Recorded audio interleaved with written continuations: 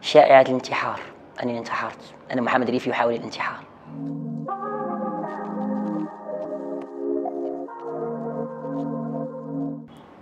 أهلا واضح الفنان محمد ريفي.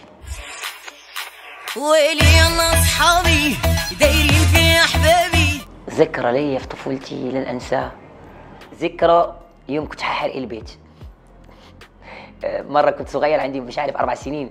حطينا أنا وأخويا النار تحت الفرش كله فجات أمي آه، آه، النار والمية.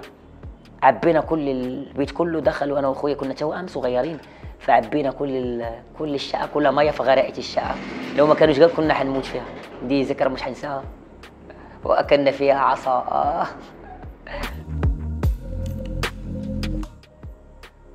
في مواقف كثيرة حصلت لي. أغرب أغرب يوم أخذت آه، اللقب كان معجب. قعد مع قعد بقول محمد دلوقتي نروح نشتري أي مطعم دلوقتي باسمك. جاتني حاجة غريبة صراحة. مهنيا موقف طريف. في مواقف كتير. في مواقف كتير صراحة.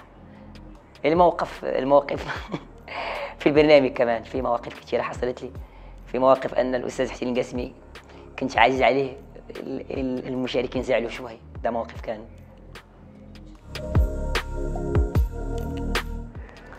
أكثر أمر جنوني عملته في حياتي.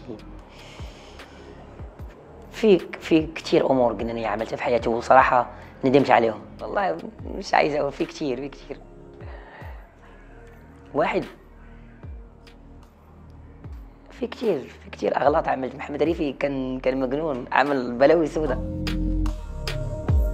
أغير الزمن أنني لما كنت صغير لما أنا وأمي وإخواتي اعيشهم أحسن عيشه وما يتعذبوش وأمي هي الوحيدة أنا ما, ما, عليها هي وأبويا الله يرحمه. شائعة. حصلت لي شائعة الانتحار. أني انتحرت. أنا محمد ريفي يحاول الانتحار. رديت. ما رديت ما زعلت. لأني أنا آه مش مش دخلت محاولة انتحار آه حصل لي موقف اتضربت في إيدي وعملت عملية في إيدي. فالناس مفتكرة أني أنا كنت عايز أنتحر.